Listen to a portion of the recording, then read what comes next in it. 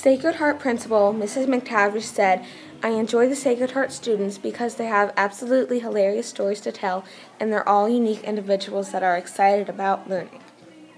How do you think high school will be different from Sacred Heart?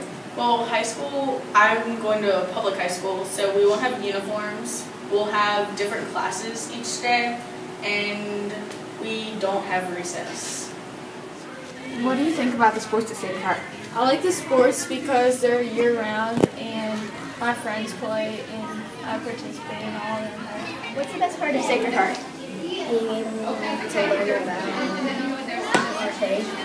We had so much fun at Sacred Heart.